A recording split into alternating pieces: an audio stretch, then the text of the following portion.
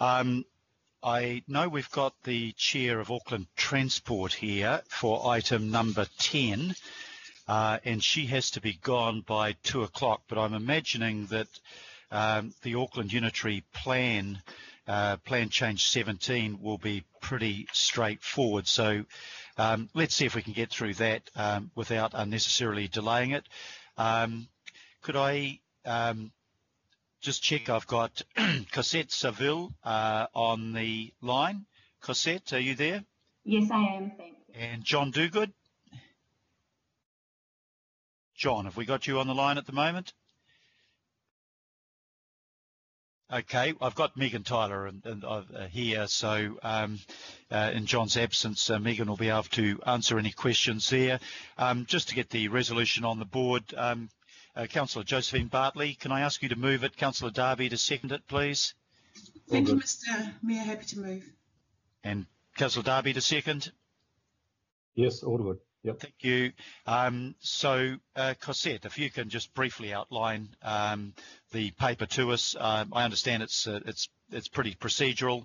Um, it's making Plan Change 17 operative uh, because we've dealt with the uh, appeals before the uh, before the court.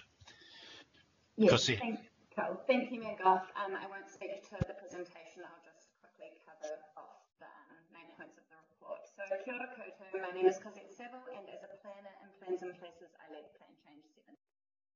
So this report is seeking approval from the Emergency Committee. Plan Change 17. Uh, Cosette, you're a little bit hard to Oh.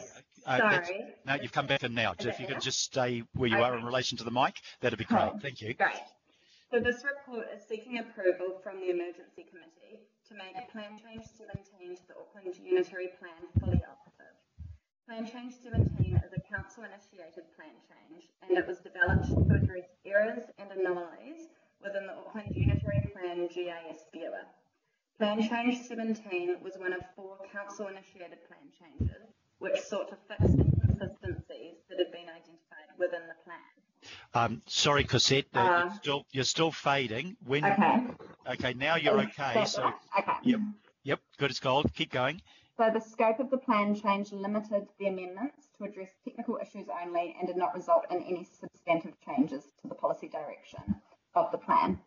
The council served limited notification on all of the persons directly affected in November 2018. 19 submissions and two further submissions were received. Plan change 17 was then heard and considered by independent hearing commissioners on the 9th of May 2019 and a decision was issued on the 27th of June 2019.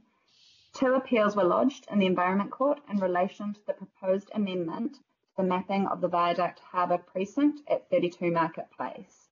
The two appeals have since been withdrawn and therefore the plan change can now be approved and made operative under Schedule 1 of the Resource Management Act. This request is procedural as under the RMA this decision cannot be delegated to a subcommittee or council staff.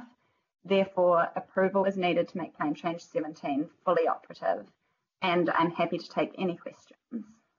Thank you, Cosette. Um, uh, Councillor Josephine Bartley, do you want to add anything to that? It's pretty straightforward. Um, but if you or Councillor Darby want to add anything, I'll just check quickly then if there's any questions and then uh, we can move the, the resolution. Uh, Councillor Bartley? Uh, nothing to add, Mr Mayor. It really is administrative and procedural, just to tidy things up. Thank you. Uh, Councillor Darby, anything you want to add to that? Nothing further. End of process. Great, thank you. Uh, if there are no questions and comments, uh, I'll put the resolution to approve Plan Change 17 and request staff to complete the statutory process. I'll do it on voices. Uh, all those in favour, please say aye. Aye. Aye. Aye. To the contrary, no. Carried. Um,